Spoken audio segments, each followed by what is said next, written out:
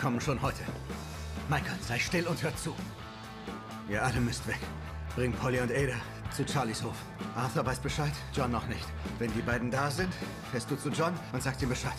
Verstanden? Ist jetzt Weihnachten? Noch nicht ganz, doch wir sollten gehen. Nimm Mami mit.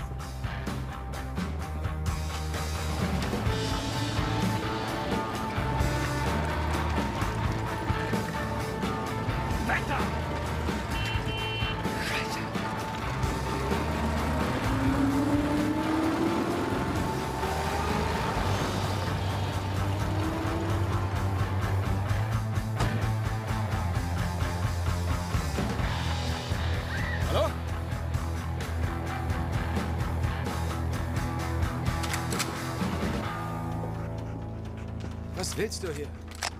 Hast du Weihnachten nichts Besseres zu tun? Tommy will, dass wir alle zu Charlies Hof kommen, also los. Rein mit dir. Geh rein!